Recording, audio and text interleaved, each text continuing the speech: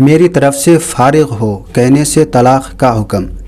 मेरा अपने शौहर से झगड़ा हुआ।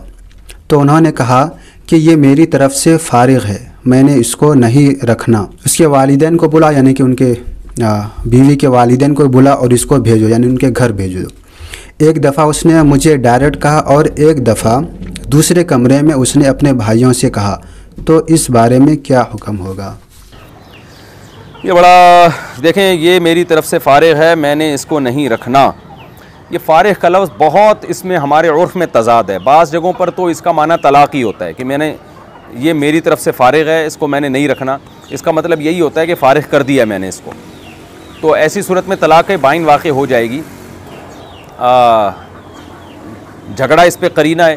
लेकिन बाज़ जगहों पर मैंने ख़ुद लोगों से सुना है कि वो फ़ारिग का लफ्ज़ जो है, सॉरी पहली सूरत जो है ना, जहाँ ये उर्फ़ बन चुका हो कि फ़ारिग का लफ्ज़ तलाक़ के अलावा किसी और माना में इस्तेमाल ही नहीं होता तो वहाँ तो ये तलाक़ सरी है।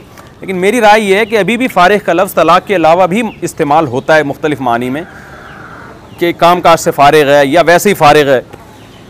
यानी मैं इससे अब कोई खिदमत नहीं लूँगा। तो मैंने जो उर्फ़ को जांचने की और समझने की कोशिश की है ना, उसमें यही है कि फ़ारिग का लफ्ज़ अभी भी यकीनी तौर पर तलाक़ के माना में इस्तेमाल नहीं होता।